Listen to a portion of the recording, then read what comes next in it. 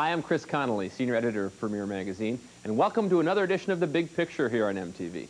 The start of the summer movie season is now less than a week away, with Indiana Jones and The Last Crusade all set to open up next Wednesday. Now, a movie like that one could just blow the lid off the box office, so the films opening up this weekend have to do well right away. But really, only one of the movies in our big lineup this week has a really major box office star.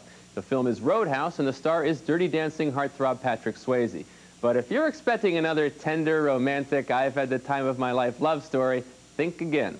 Roadhouse is a blue-collar, brutally violent action film about a bouncer in a redneck bar. Sure, he's a former philosophy student from NYU or something like that, but he seems to be majoring in mayhem.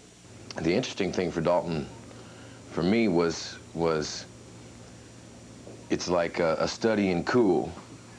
You know, uh, this guy who is has a reputation as being the best bouncer in the country and has paid a lot of money to come in and clean up bad situations. Um, I tried to be like the eye of the hurricane. Sorry, we're closed. Well, then what are all these people doing here? Drinking and having a good time. Well, that's why we're here. You're too stupid to have a good time. 啊啊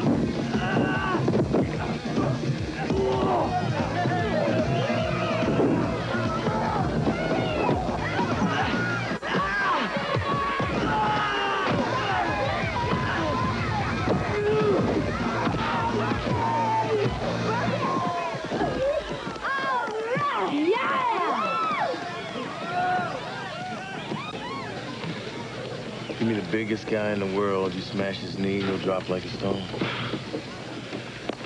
See, who says you can't learn stuff at the movies?